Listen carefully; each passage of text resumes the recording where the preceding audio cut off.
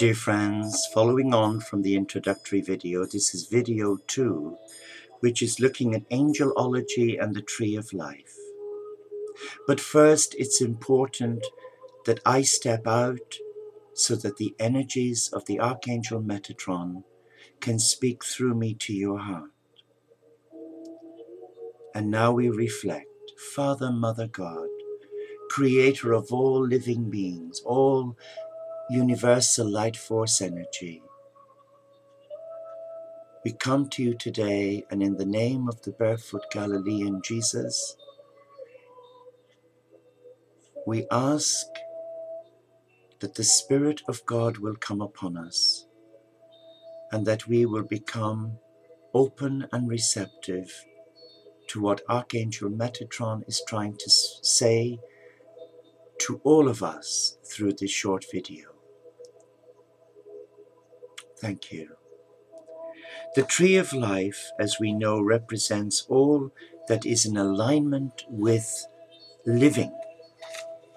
It is a symbol and a reality that serves to remind us of the importance of everything and how it all works together to serve the betterment of the whole person. Imagine a tree taking root in your own garden or backyard as it is fed by the rains of the heavens, the warmth of the sun and the nutrients of the soil, and the circle of shedding the old and bearing the new, we can see the Creator God Goddess at work. The tree of life not only signifies the mechanics of God, but also the compassion of a loving Creator, Father, Mother God. It provides shade and protection.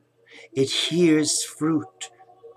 Forgive me, it bears fruit that will nourish us and in many cases offers its whole being to us for our sustenance in our spiritual search for truth. The tree of life touches every global community and penetrates every religion known to mankind. It has a physiological blueprint, yes it does, that parallels the universal law of seven in every facet of its existence. Like the seven chakras, the seven archangels, and the seven octaves, the tree of life has seven branches that represent a union of all that is supported by the trunk. And this represents our strength and diversity in acknowledging the many different aspects of ourselves. The branches are seven and seen as male and female, and they are the lowest, our first branch, symbolizes our body, self, our sense of wellness, the second is an expression of our personality.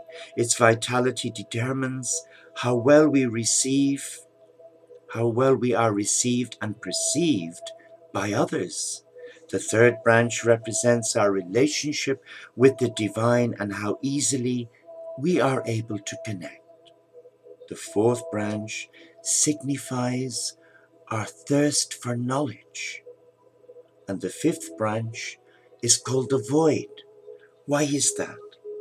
Its health facilitates an understanding of the collective consciousness of oneness. The sixth branch represents one truth, our truth, the essence of who we are, the I am. And the seventh and final branch like the crown chakra, is the primary portal or connection to the divine, allowing one to explore that which is not attached or of the physical body.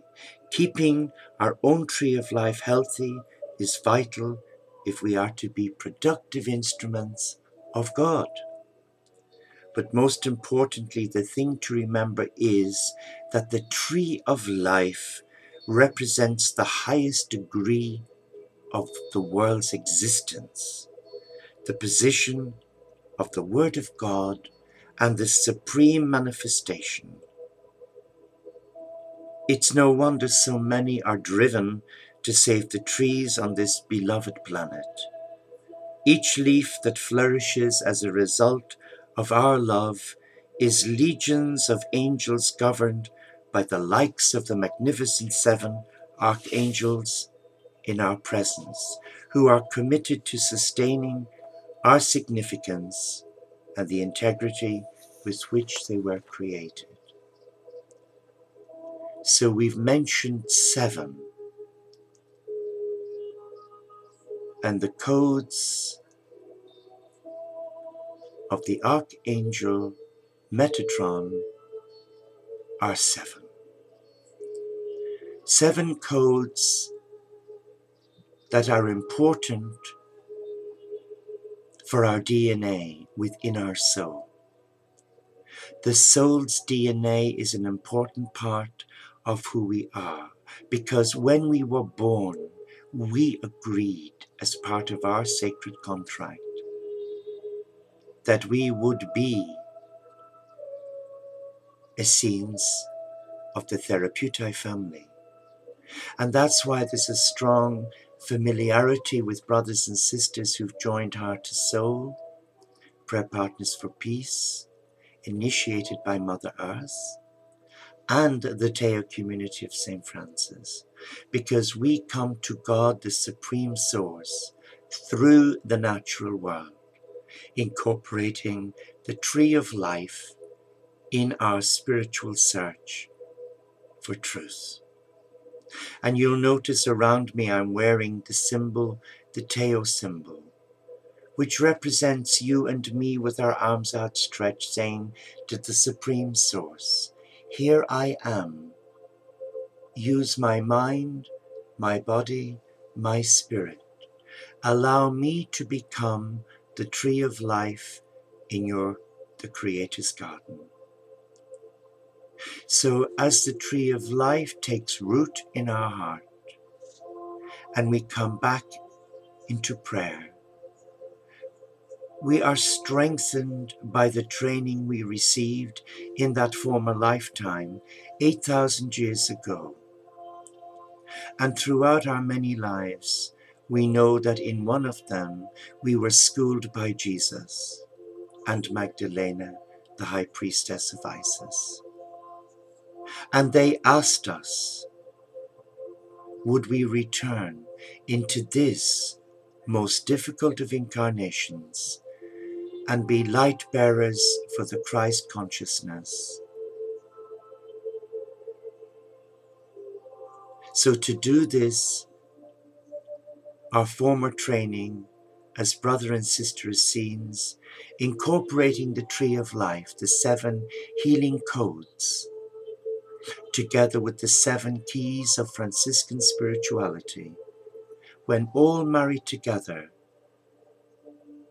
they create a vortex of light within our being, where our mind, our body, and our higher self are all intertwined, interconnected, and they all come to the divine connectedness in a place of balance where we are grounded, where we are protected, and where we are nurtured by the earthly mother.